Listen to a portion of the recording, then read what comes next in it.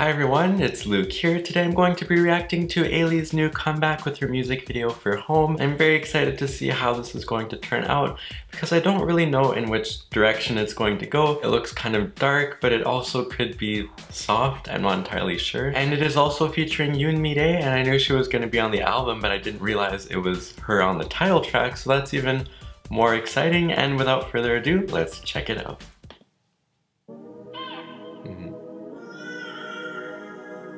Working them heels.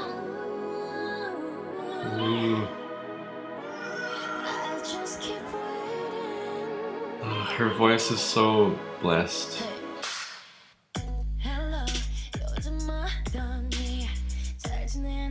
Ooh, she hasn't really done this vibe for a title track yet. Definitely feel like it suits her voice, suits her style. Wow, she is looking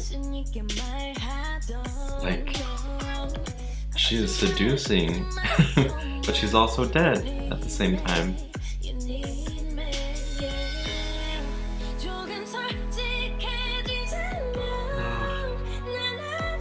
The shorter hairstyle is really nice on her too.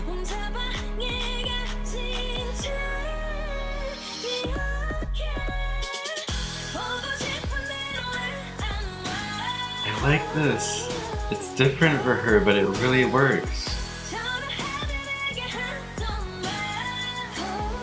Ooh, those body rolls. She's getting that choreo too.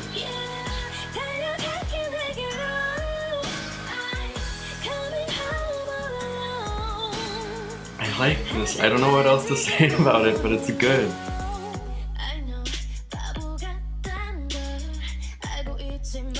Kind of feels like a style of song we don't see often in K-pop. But I think it's needed and it and she does it, she does it well.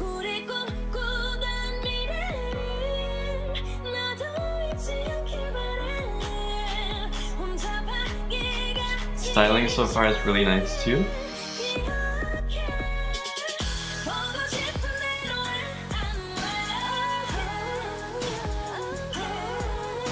Love this. There's something about it that feels kind of classic.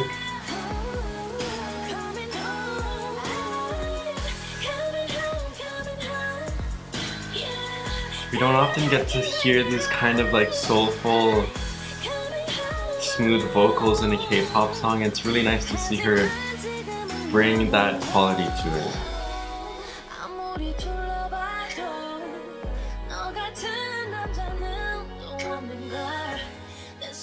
She's kind of showcasing both the diva side of her as well as like that femme fatale kind of vibe too.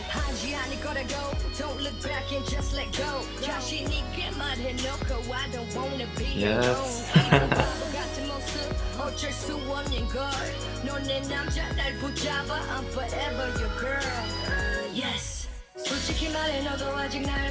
oh, this feature works well. Oh, get it, girl. She's really, wow. I'm really looking forward to seeing her perform this live. It's gonna be great.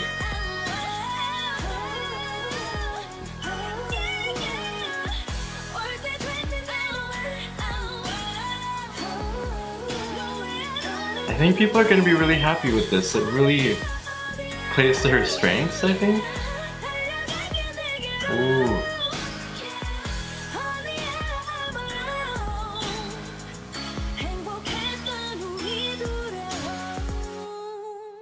Oh, those lips too, I just realized.